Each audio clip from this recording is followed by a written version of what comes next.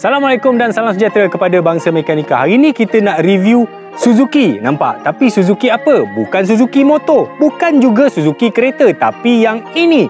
Suzuki Camper Van. Suzuki Every Motorhome nama dia. Ha, nampak? Rare kan?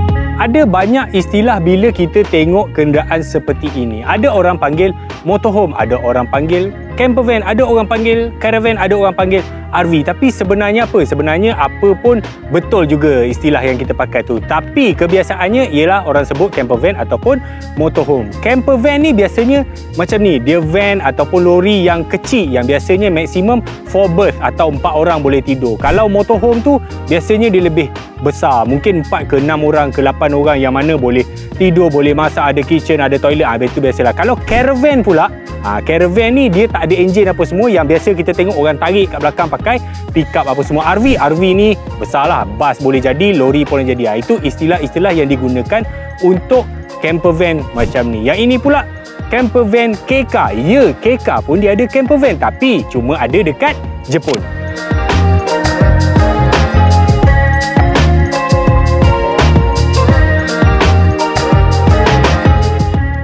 Van di Jepun juga unik selain daripada yang besar yang dibuat daripada high ace, urban apa semua dia ada yang kecil yang ada saiz KK dan saiz KK walaupun untuk camper van dia tertakluk pada undang-undang KK tu sendiri sebab itu bentuk dia nampak macam pelik. Okey, sebab KK ni dia tidak boleh lebih 3.4 meter panjang, 2 meter tinggi dan 1.48 meter lebar. Jadi saiz ini memang dah maksimum untuk melayakkan dia duduk dalam kelas KK yang mana lebih murah road tax dia, lebih murah inspection apa semula. Cuma bila kreativiti digunakan oleh jurutera, maka lahirlah model yang ini.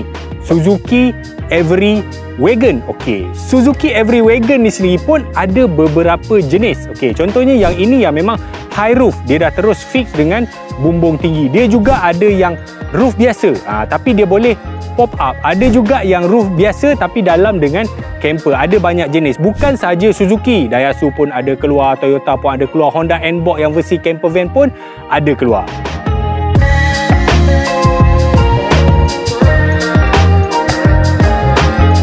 Selain daripada saiz dia yang memang dah ditetapkan oleh kerajaan Jepun tak boleh lebih daripada saiz yang ditetapkan, enjin juga mesti di bawah 660cc dan maksimum 64 PS. Dia nak buat macam mana? Dia nak bubuh supercharger ke, dia nak bubuh V8 660cc pun tak apa. Tapi tak boleh lebih cc 660 dan juga 64 PS. Tak ada apa yang sangat yang istimewa. Alamak, macam mana nak buka ni? Ha, ini dia.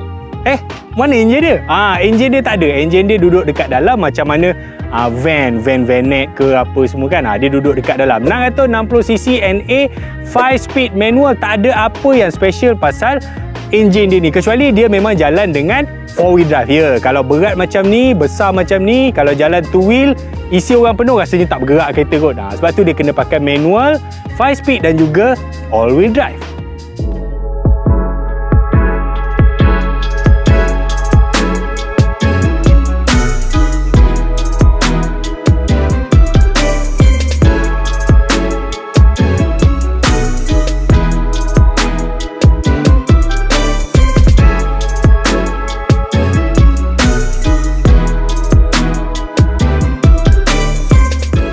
Adalah bahagian dalaman Suzuki Every Motorhome. Memang sangat tidak ada apa-apa teknologi pun.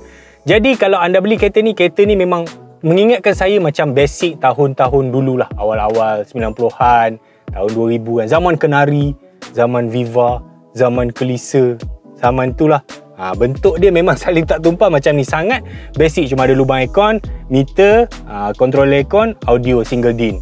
Even dia punya meter pun, meter RPM pun tak ada. Benda ni memang betul-betul basic. Tak ada apa pun dalam ni. Power window pun tak ada. Dia pulas pakai tangan. Jadi sebenarnya konsep kenderaan macam ni untuk penumpang bukannya untuk driver. Driver dia memang sangat basic, tak ada apa ya, ya macam kita sebut tadi, dia ada 5 speed manual dan juga ada sistem 4 wheel drive. Tapi menariknya sistem 4 wheel drive ni dia bukan sistem 4 wheel drive yang basic sangat juga. Okey. 4 wheel drive system dia dia boleh lock axle belakang, dia ada 2H dengan 4H tapi dia ada follow. Maksudnya apa? Kalau kita camping. Okey, contohnya kenderaan-kenderaan macam ni kalau kat Jepun lah, mungkin dia akan masuk dekat kawasan-kawasan yang mungkin sedikit off-road atau uh, tanah tak ada grip kan. Jadi dia perlukan uh, traction dekat bahagian belakang. Jadi mereka memerlukan power yang dihantar pada tok yang di bawah. Jadi dia ada 4L. Maksudnya dia dah fikir dah apa yang akan digunakan oleh kenderaan macam ni. Ha, bijak lah dia orang. Bijak. Tapi sebenarnya, hmm, kita bukan nak tengok dekat sini. Kita nak tengok apa ada dekat belakang sana. Best ke?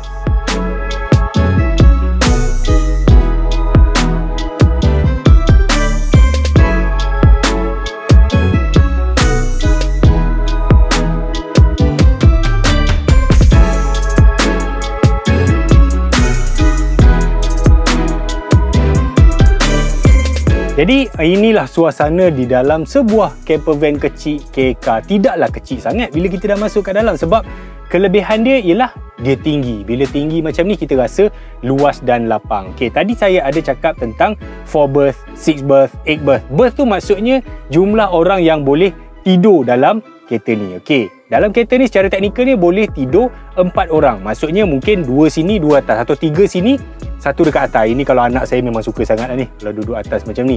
Jadi kalau kita macam kita camping ah, kita tak perlu buka kemah apa semua kan, kita boleh tidur dalam kereta. Facilities yang ada dalam ni juga boleh tahan. Dia tidaklah komplit sampai ada toilet nak memerut apa semua kan. Tak ada, dia toilet semua tak ada. Tapi dia ada basic, dia ada macam ha, sinki kecil. Sinki ni bawah dia ada built-in water pump. Jadi kita boleh isi air dalam tangki dia dan gunakan air mungkin untuk cuci tangan, gosok gigi, cuci muka, basic-basic boleh lah. Ha, tapi kalau nak pergi toilet yang sebenar, kena pergi toilet jugalah berhenti kat R&R. Lepas tu dia ada lampu kecil.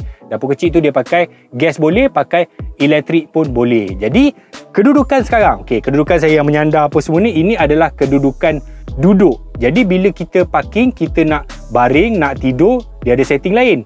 Dia ada kayu-kayu dia dengan apa, dia punya pelantar-pelantar dia, kita pasang-pasang-pasang-pasang, dia akan jadi hilam, akan jadi katil. So kita boleh relax lah, boleh tidur. Dan jadi untuk privacy, dia ada curtain. Ha, dia boleh tutup, jadi pemandu tak boleh nampak orang belakang.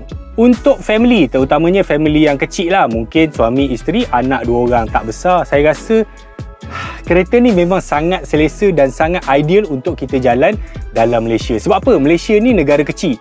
Budaya camper van motorhome ni sebenarnya budaya-budaya belah US, belah Europe kan. Dia cross country, jalan sampai 1000 km, 2000 km. Tapi yang itu perlulah motorhome yang besar-besar, nak kena ada toilet apa semua kan, tempat masak. Tapi untuk Malaysia saya rasa saiz macam ni pun dah cukup. Tempat letak barang, tempat simpan, susunan, dapur kecil, sinki. Kalau nak pergi toilet, berhenti je lah kan. Tepi jalan, toilet surau pun banyak dekat Malaysia ni. Jadi untuk anda yang berminat, saya rasa beli saiz ni pun okey kot.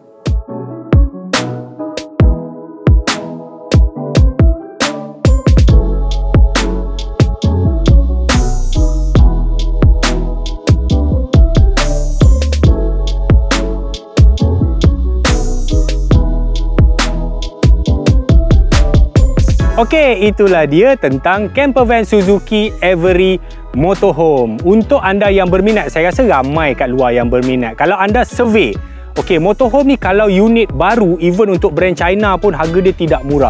Start dekat mungkin 200 kot. Okey, memang mahal. Tapi banyak orang beli yang unit second ataupun unit recon. Banyak juga pengimport Kereta terpakai dia dah bawa masuk unit-unit recon daripada Japan. Contohnya yang macam ini. Yang ini tahun 2008. Ada juga kat market lah dalam tahun 2010, 2011 macam tu.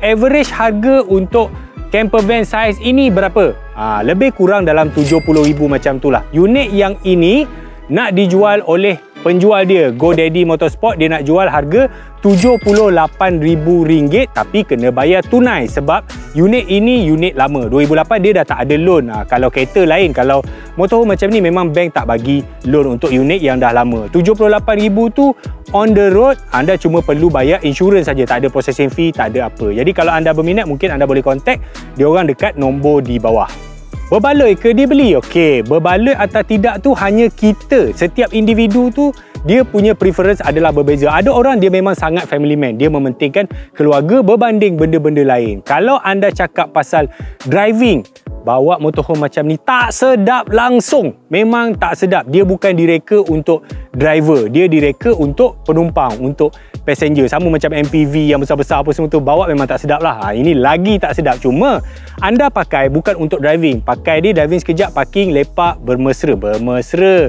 Parking, lepak dan juga bergembira dengan anak dan isteri-isteri anda kalau ada 2-3 orang isteri lah.